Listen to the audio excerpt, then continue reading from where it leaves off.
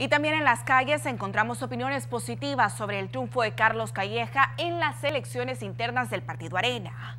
Algunos aseguran que el empresario cumple con el perfil ideal y que trabajará por los principales problemas del país. Veamos. Para mí, bien. Es más honesto, más todo, lucha por el país. Es lo que encontramos durante un recorrido por algunas calles de San Salvador sobre el triunfo de Carlos Calleja. Excelente, buena persona que han elegido y ojalá primero Dios que gane y que lo apoyen. A mí me parece que está bien. ¿Por qué? Pues sí, porque pensamos, ¿verdad?, de lo mejor. ¿va? ¿Piensa que él va a trabajar?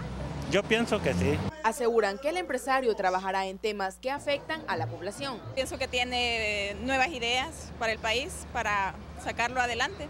También es un hombre bien preparado académicamente. Y aplauden las visitas que hizo a los municipios durante su campaña. Bueno, él ha sido un, un hombre emprendedor y, y se le ha visto pues que quiere hacer algo por el pueblo. Bueno, porque tiene personalidad, es serio en lo que dice y en lo que hace y le da oportunidades a la gente de trabajo en sus empresas contratan muchachos que necesitan trabajar y así que yo también le pido que haya trabajo para los vendedores, oportunidades, préstamos.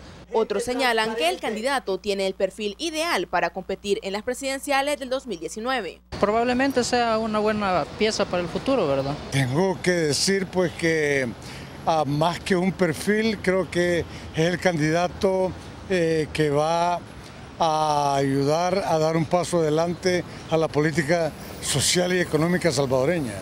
En general, pidieron a Carlos Calleja cumplir con las promesas y se convierte en el próximo mandatario del país. Para Teleprensa, Canal 33, Jennifer Flores.